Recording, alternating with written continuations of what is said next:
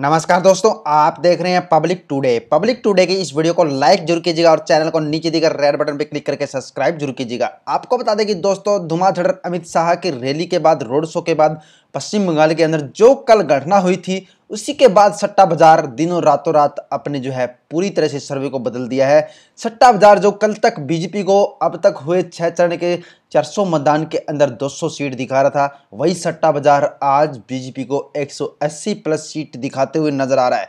दोस्तों, ये जो सट्टा बाज़ार का मानना है कि पश्चिम बंगाल के अंदर हुए झगड़े को देखते हुए पश्चिम बंगाल में बीजेपी साफ़ दिख रही है और पश्चिम बंगाल से उन्होंने जो है बीजेपी के खाते की सभी सीटों को माइनस कर दिया है सट्टे बाज़ार के बाज़ार ने और वहीं पे ममता बनर्जी को काफ़ी हद तक ऊँचा दिखा देगा। जो सट्टा बाज़ार कल तक ममता बनर्जी को जो है काफ़ी नीचा दिखा रहा था, ममता बनर्जी काफ़ी फिफ्टी परसेंट सीटें दिखा रहा था, आज वो ममता बनर्जी के नाइन्टी नाइन परसेंट सीटें दिखाता हुआ नज़र आ रहा है। जैसे कि दोस्तों, आप सभी जानते हैं कि छठे चरण विधानसभा मतदान के अंदर दिल्ली समेत कई राज्यों के अंदर मतदान हुआ है। जैसे कि दिल्ली की सात सीटों में बात की जाए तो बीजेपी ने पिछली बार सात की सात सीटों पर जीत दर्ज की थी। लेकिन इस बार दिल्ली के अंदर बीजेपी लगभग पाँच प्लस सीटें जीत दर्ज करती हुई दिखा रही है। बाकी सीटें अरविंद केजरीवाल या कांग्रेस के खाते में जा सकती है। और वहीं पर बात की जाए हरियाणा लोकसभा के बारे में तो हरियाणा के अंदर दस लोकसभा सीटों के अंदर जो है बीजेपी के खाते में ओनली ओनली सात के आसपास सीटें दिखाई जा रही है। बीजेपी सात से ज़्यादा सीट नहीं, बल्कि सात से कम सीट हासिल कर सकती है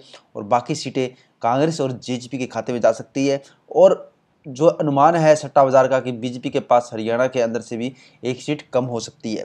तो दोस्तों, सट्टा बाज़ार अपने सर्वे बदलता रहता है। यही कि आप सभी जानते हैं, पश्चिम बंगाल के अंदर भी मतदान हुए थे। पश्चिम बंगाल के अंदर भी सट्टा बाज़ार ने काफ़ी कम सीटें दिखाई थी बीजेपी की। पश्चिम बंगाल के अंदर ममता बनर्जी का प्रभाव काफ़ी ज़्यादा दिख रहा है। और दोस्तों, पूरे इंडिया की बात की जाए तो अब लगभग 420 प्लस सीटों पे मतदान हो चुका है और इन सीटों पे जो है किसका बहुमत जारी है, इसके बारे में भी सट्टा बाज़ार ने कहा है कि 420 सीटों में से 180 प्लस सीटें अभी तक बीजेपी जीत सकती है। और सट्टा बाज़ार का यह भी दावा है कि कोई भी पार्टी, चाहे कांग्रेस हो, चाहे बीजेपी हो पूर्ण बहुमत के साथ इस बार लोकसभा के अंदर प्रधानमंत्री या लोकसभा के अंदर अपना सरकार नहीं बना सकती है, उन्हें किसी न किसी के साथ गठबंधन करना ही पड़ेगा।